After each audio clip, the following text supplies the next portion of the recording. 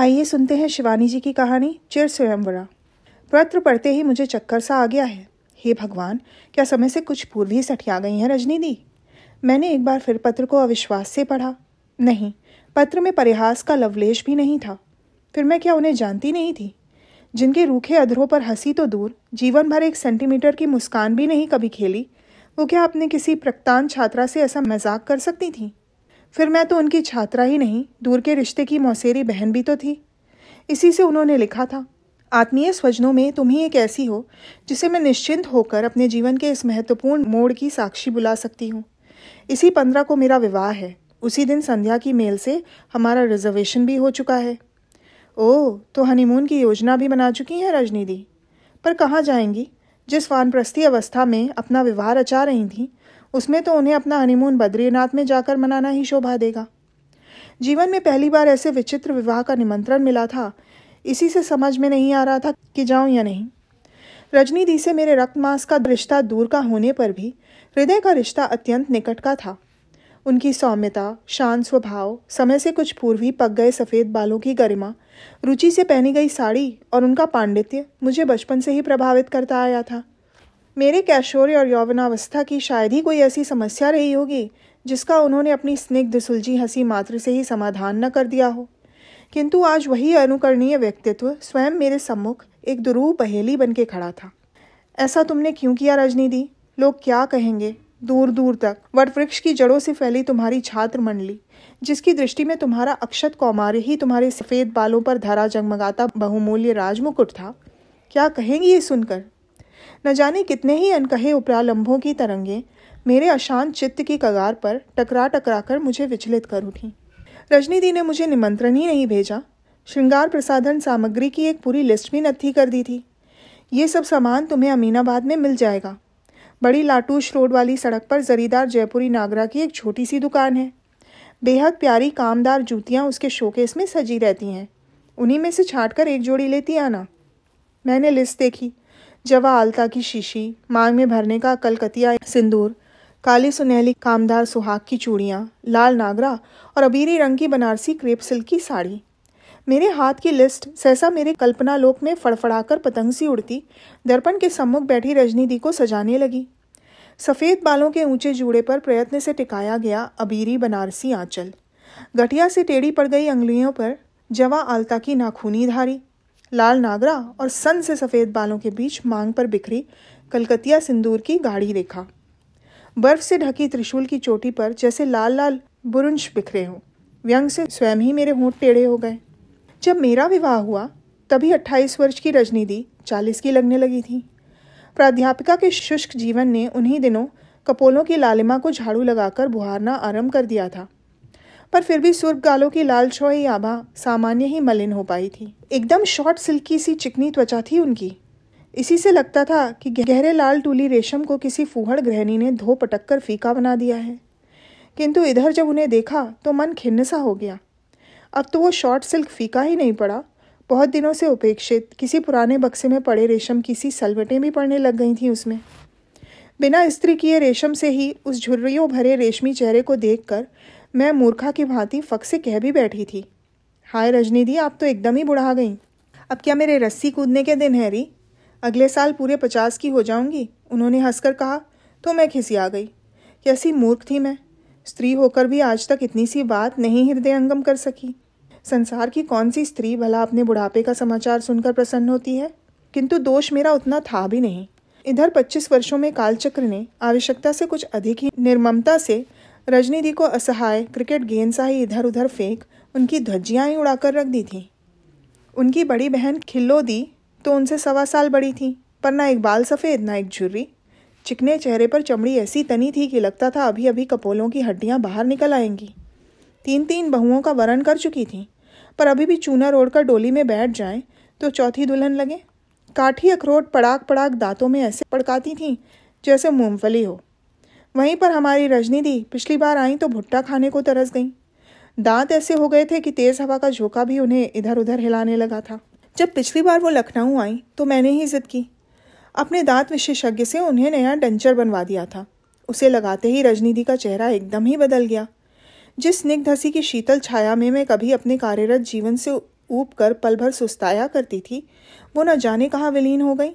यही नहीं, उनका उच्चारण, चेहरे की गढ़न और कंठ स्वर भी न जाने कैसा नकली नकली सा लगने लगा था। मुझे तो आज भी यही लगता है कि उस दिन यदि मैंने उन्हें वो नकली बत्तीसी ना दिलवाई होती तो शायद आज उनका इतना बड़ा सर्वनाश भी नहीं होता। बार बार वो दर्पण के सम्मुख जाकर अपने प्रतिबिंब को ऐसे निहारती थीं, जैसे स्वयं ही अपने को ना पहचान पा रही हूँ।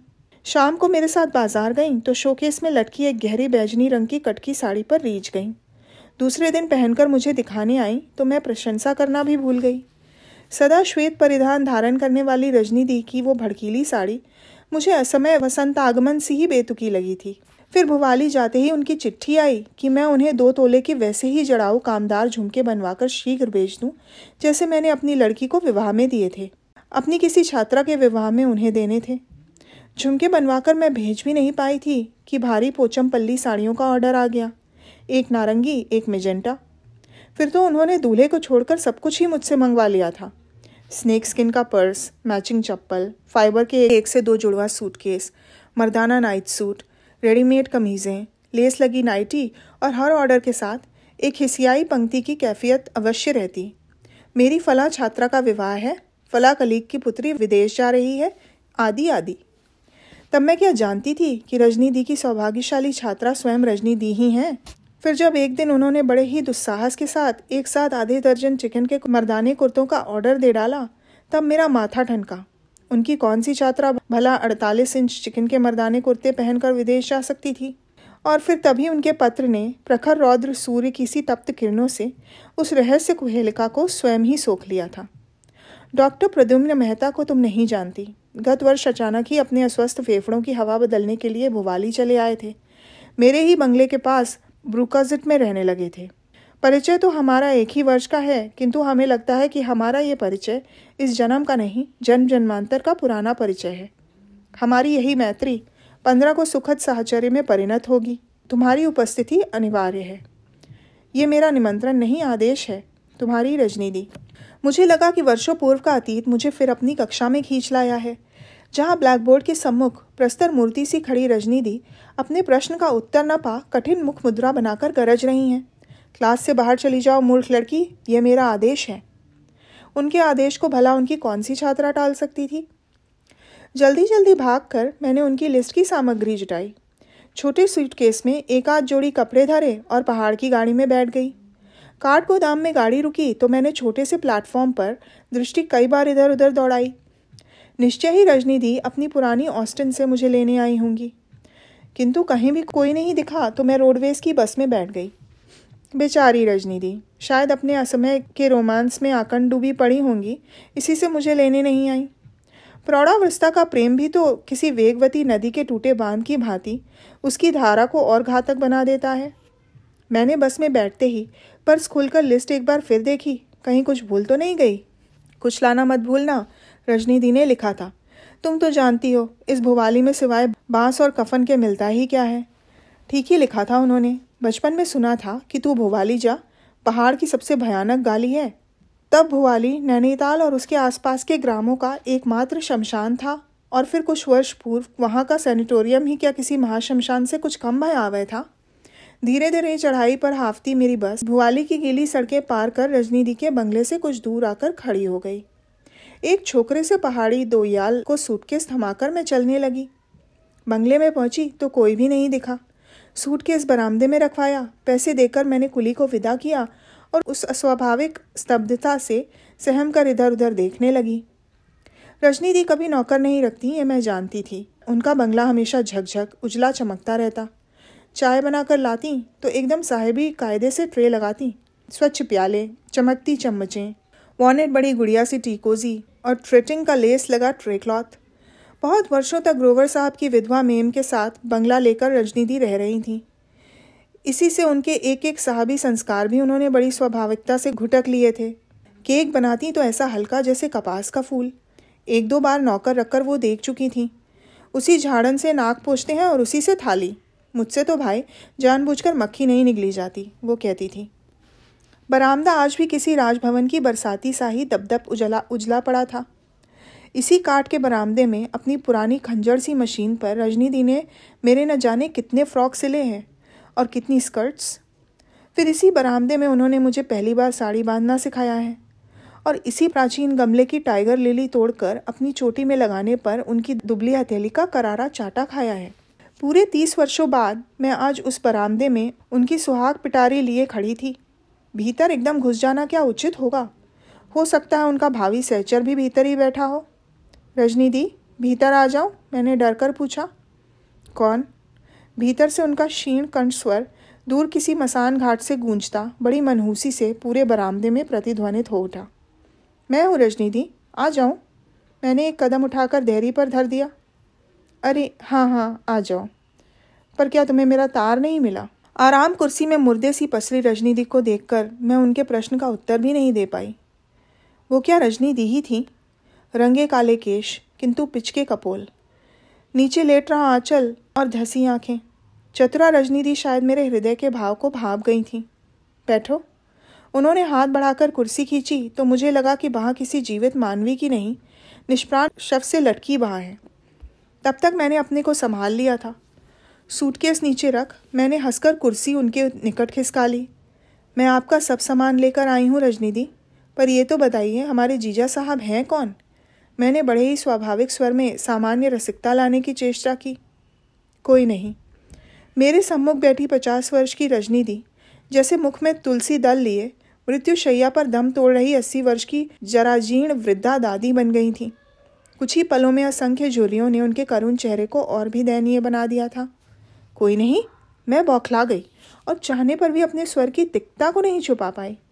मैं अपनी गृहस्थी की बीसियों उलझने छोड़ गिरती पड़ती भागी आई और आप इतना बड़ा मज़ाक कर गई। मैंने ना तब मज़ाक किया था बहन, ना अब कर रही हूँ। हंसने की चेष्टा में उनके होंठ काँप कर रह गए। विवाह तब था, पर अब नहीं है। मतलब मेरा क्रोध अब सचमुच ही मेरे व्यवहार को अभद्र बना रहा था। रजनी दी फिर हँसी। और इस बार उनके पोपले मुँह की दंतहीन शिशु की सी हँसी एकदम निष्पाण थी। सच कह रही हूँ, अनजाने में ठोकर खाकर गिर रही थी तुम सबकी रजनी दी। विधाता ने बाह पकड़कर उबार लिया। प्रेम ने मुझे अंधी बना दिया था, बच्ची।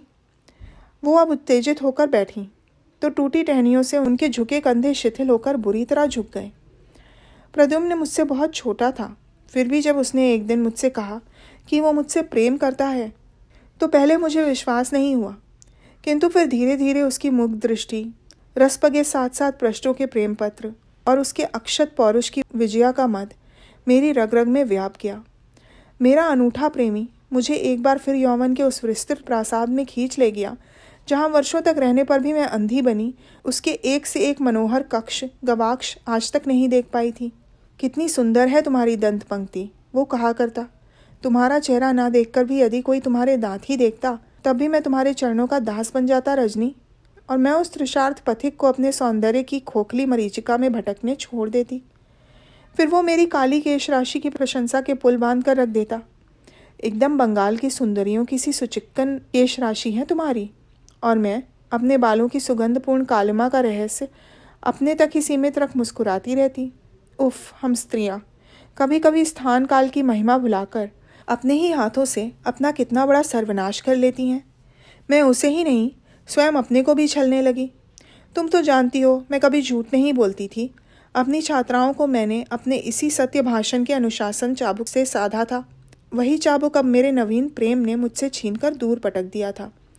और फिर एक दिन हमने निश्चय किया कि हम दोनों एक दूसरे के बिना नहीं रह सकते। विवाह की तिथि निश्चय कर मैंने तुम्हें ही सबसे पहले लिखा था। लिखती भी और कैसे? खिल्लो को लिखती तो शायद वो हवाई जहाज़ से यहाँ आकर हम दोनों को गोली से उड़ा देती। सहसा रजनीति का स्वर चुप्पी में डूब गया। जैसे कठिन मधुमेह का कोई रोगी फिर कोमा में डूब गया हो। फिर मैं अधेर से उन्हें अपने प्रश्न की सुइयाँ चुभोती, फिर चैतन्यावस्था में खींचने लगी। उस दिन इतवार था। रजनीति ने अपनी दोनों पतली बाहें गोद में धर ली थी। हमने भीमताल की झील में बोटिंग का प्रोग्राम बनाया। दिन भर तो वहाँ आजकल टूरिस्ट टूटे रहते हैं। संध्या पाँच बजे तुम्हें लेने अपनी कार में आऊँगा, वो कह गया था। मैंने दिन भर लगकर केक बनाया, मफ़िन बनाए। उसे भी तुम्हारी तरह मेरे हाथ के बने मफ़िन बेहद पसंद थे। उन्होंने ऐसे स्वर में कहा, जैसे कोई शोक संतप्त जननी अभी अभी गुजरे अपने इकलौते बेटे की पसंद का उल्लेख कर रही हो। पिछली बार तुझसे जो गुलाबी अडियार मंगवाई थी, वो पहनी। बड़ा सा जूड़ा बनाकर गुलाब लगाया। रजनी दी अपने अभिसार की, श्रृंगार साधना की विशद व्याख्या करने लगी तो मैं लज्जा से गड़ गई। किंतु उनके सौम्य संतनिके से चेहरे पर एक शिकन भी नहीं उभरी। जैसे कोई धर्मपरायणा विदेशनी, मृत्यु से पूर्व किसी पादरी के सम्मुख निष्कपट आत्मनिवेदन कर रही हो। बिंदी लगाने लगी तो सहसा मेरी श्वास मेरी हथेली से टकराकर मुझे किसी दंत मंजन के विज्ञापन की सी चेतावनी दे उठी। उफ, कितनी मूर्ख थी मैं। आज अपने जीवन की सबसे महत्वपूर्ण संध्या की आगमनी में भी मैं अपने प्रति कितनी उदासीन रह गई थी। एक बार भी डेंचर नहीं साफ़ किया था मैंने। पाँच बजने में अभी पूरा पौन घंटा था। चटपट डेंचर उतार कर साफ़ करने लगी। तभी प्रद्युम्न की कार का हॉर्न बजा। मेरा अधीर प्रेमी पौन घंटा पूर्व ही आ गया था। हड़बड़ाकर मैं अधुला डेंचर ही पोच कर लगाने लगी थी कि वो हाथ से फिसलकर चिकना चूर हो गया। वही चूर नहीं हुआ बहन। मेरे सौभाग्य भी उसके साथ ही चिकना चूर हो गया। इससे पूर्व कि मैं कुछ सोचती, मेरा मुस्कुराता सुदर्शन मंगेतर मेरे सम्मुख खड़ा था। तैयार हो ना? गुड चलो, जल्दी ही निकल पड़े। बदली गिर रही है, कहीं झड़ी ना लग जाए। भुवाली की झड़ी क्या चरपूंजी से कुछ कम वेगवती होती है? परिस्थिति की विषमता ने मेरी वाणी हर ली थी। किंतु विवशता के आँसू मैं चेष्टा करने पर भी नहीं रोक पाई। कांपते होठों के बीच शायद उसने मेरी निरीह जिड्डा के दंतहीन वैधव्य को देख लिया था। उसका चेहरा एकदम फक पड़ गया। वो एक शब्द भी नहीं बोला, पर मैंने सोचा, बहुत छल चुकी हूँ, अब और नहीं छलूँगी। प्रद्युम्न, मैंने हंसकर कहा, जिस दंत पंक्ति को देखकर तुम मुग्ध हुए थे, वो मरीचिका मात्र थी। मेरे बाल भी सफ़ेद हैं, प्रद्युम्न। इसी अप्रैल में मैं पूरी पचास की हो जाऊँगी। मेरी उंगलियाँ गठिया से टेढ़ी हैं। मेरी कमर में हमेशा दर्द रहता है। मेरी छात्राओं में से अधिकांश दादी नानी बन चुकी हैं। और फिर मैं रोने के बदले ज़ोर ज़ोर से हंसने लगी। जितनी ही बार प्रद्युम्न के हदप्रभ चेहरे को देखती, उतनी ही बार एक नई हिस्टेरिकल सी हँसी का दौरा मुझे दोहरी कर देता। चेष्टा करने पर भी मैं अपनी हँसी नहीं रोक पा रही थी। जीवन में कितनी ही बार मैंने अपने षोडशी छात्राओं को इस हिस्टीरिया से चाटे मार मार कर मुक्त किया है, किंतु उस दिन मैं स्वयं असहाय बनी हँसी जा रही थी। आँखों से आँसू बहने लगे। पेट में बल पड़ गए और जब मैं उस पागलपन के दौरे से अधमरी होकर चैतन्य हुई तो देखा मैं कमरे में अकेली हूँ, वो जा चुका था। अपने विचित्र रोमांस की करुण कहानी सुना, रजनी दी एकदम निढाल होकर फिर आराम कुर्सी पर पसर गईं। उनकी आँखें बंद थीं और ललाट पर पसीना छलकने लगा था। आखिरी बस कितने बजे जाती है रजनी दी? मैंने डर डर कर पूछा। न जाने कैसा भुतहा बंगला लगने लगा था वो मुझे। उनकी नित्य की सवरी गृहस्थी में जैसे शत सहस्त्र मक्खियाँ भिनभिनाने लगी थीं। बिना लगा बिस्तर, पूरे कमरे में फैले फटे प्रेम पत्र और आराम कुर्सी पर मुर्दा सी पड़ी स्वयं गृह स्वामिनी। उलझी जटाएँ, धसी आँखें और दंतहीन मुख। क्या पता फिर उन्हें अपनी उन्मत्त हँसी का दौरा पड़ जाए? रजनी दी, सोचती हूँ आज ही चली जाऊँ। आखिरी बस क्या चली गई होगी? मैंने पूछा और उन्होंने अपने गंजेड़ी की सी लाल लाल आँखों से मुझे घूरा तो कलेजा हेम हो गया। निश्चय ही अब वो फिर हो हंसने लगेंगी। पाँच बजे, उन्होंने क्लान स्वर में कहा, पौने पाँच बजे चलने पर भी तुम बस पकड़ सकती हो। दो कदम पर ही तो बस स्टैंड है। मुझे लगा जैसे वो कह रही हूँ, इसी बस से चली जाओ तुम, मुझे अकेली छोड़ दो। एकदम अकेली रहना चाहती हूँ मैं। फिर उन्होंने बिना किसी संकोच के अपना पर्स खोला। एक शीशी निकाल कर दो गोलियाँ खाईं और गुड़ी मुड़ी बने बिस्तर में अलसाई बिल्ली सी घुटने मोड़कर लेट गईं। नींद की गोली खाए बिना इधर मुझे नींद ही नहीं आती। जा रही हो क्या? उनका अटपटा प्रश्न उनकी अस्वाभाविक नींद में डूबने लगा था। मैं हाथ का सूटकेस लटकाए चली तो वो गहरी नींद में डूब चुकी थी। फिर मैं उस निद्रा मग्ना चिर स्वयंवरा की सुहाग पिटारी बाहर लिए, चुपचाप बाहर निकल आई।